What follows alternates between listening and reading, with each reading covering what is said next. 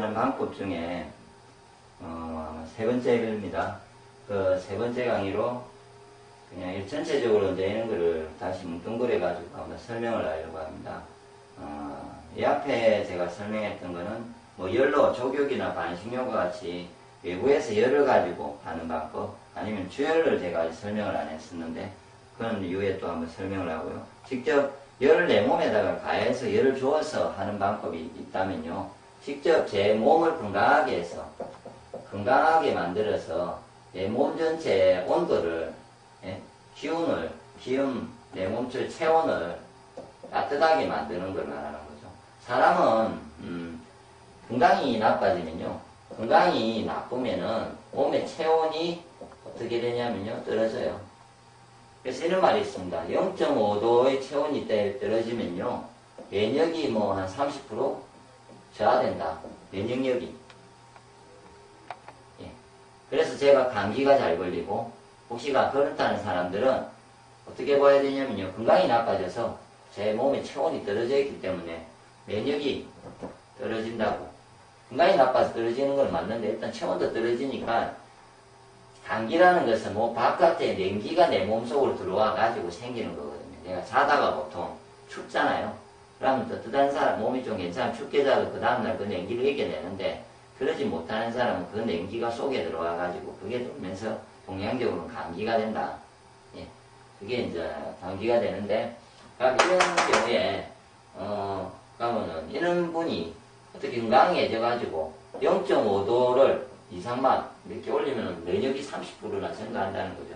그래서 이제 건강해지면서 어, 될 수 있는 방법 중에 어, 옆에 제가 발 마사지 할때 방법 중에 발지압판 밟기를 했는데요. 이게 혈액순환에 가장 좋다고. 혈액순환 시킬 수 있는 운동법 중에 가장 좋은 방법이므로 아마 그 이전에 동영상 중에 발지압판 밟은 데 대해서 한번 보시면은 자세한 설명이 되어 있을 겁니다. 발 마사지 부분을 보시면요.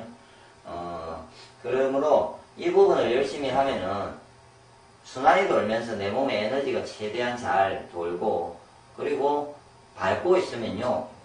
아래가 따뜻해지는 건 확실히 느낍니다. 하체가. 하체가 엄청나게 따뜻해지면서 한 30분을 밟고 있으면요. 몸에 열이 나요. 몸 전체.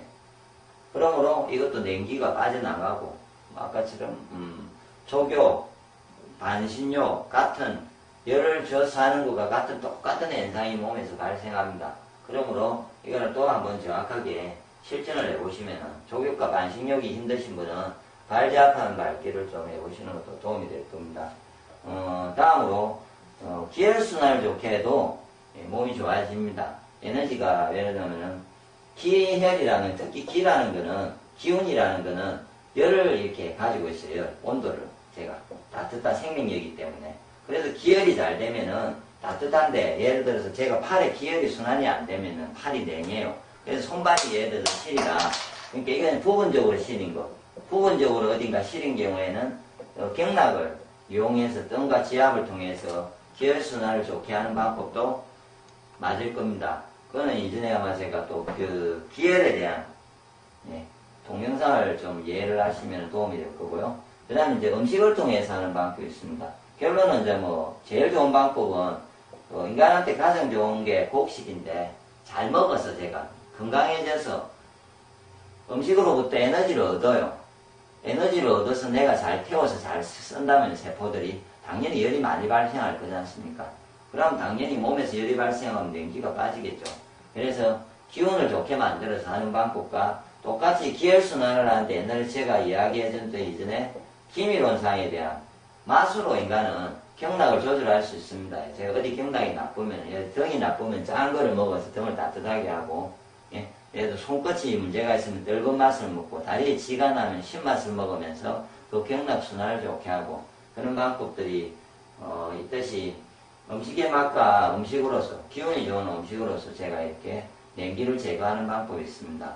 그래서 혹시 냉기 제거를 한다고 어, 해야 되겠다고 어딘가가 누가 내는 내마다고 해가지고 어떤 특정한 방법을 누군가가 고집을 할 때 그 방법만이 되는 건 아니다는 거죠.